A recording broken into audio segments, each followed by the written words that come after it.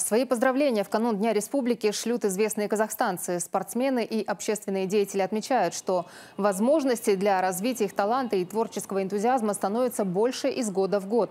Такие условия, по их словам, дают большой толчок для достижения новых вершин. Прославившиеся соотечественники призывают не забывать об исторических датах, которые напоминают о нелегких периодах становления страны и укрепляют патриотизм.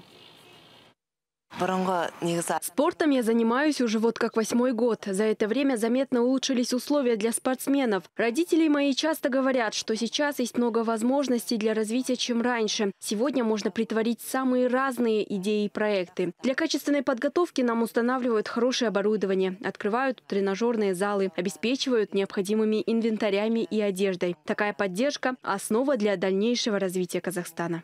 Исторический документ был принят именно в нашем городе, в Алматы. Сейчас в стране проходят не менее важные события, которые определяют вектор развития нашей республики. В этой связи желаю нашей стране и всем ее гражданам процветания, единства, мира и согласия. День республики – это день веры, дружбы и надежды. Эта дата объединяет наш народ и еще раз напоминает о принципах неделимости, неприкосновенности нашей территории. Те принципы, которые прочно закрепились в декларации, принятой 33 года назад.